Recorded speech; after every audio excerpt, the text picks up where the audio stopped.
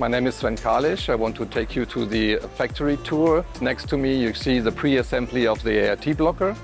And the blocker is actually the alloy replacement technology we have introduced a couple of years ago.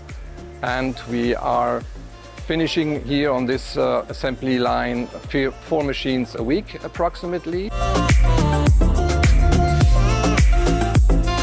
The ART machine is a quite complex machine. We have assembled more than 3,600 items inside the machine.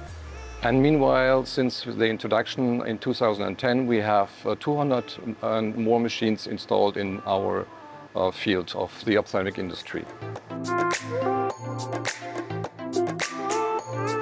The next station is our Multiflex 2. We uh, assemble here in this line. This machine is introduced in 2021, the latest technology of polishing processes. And you can see the assembly line. We are finishing here um, four machines in a row. And we also have optimized our material flow inside the production assembly to increase the capacity and optimize the efficiency of the final installation assembly of the Multiflex 2 all machines will have a burn-in test, so no machine will leave the factory without really heavily tested all functionalities. Here we are in the area of the pre-assembly of the VFT Orbit 2. This machine is pre-assembled on this line and finally will be finished on the uh, next line. On this side, the VFT Orbit will be uh, finalized to the customer demand. All options can be uh, installed on the side of the line.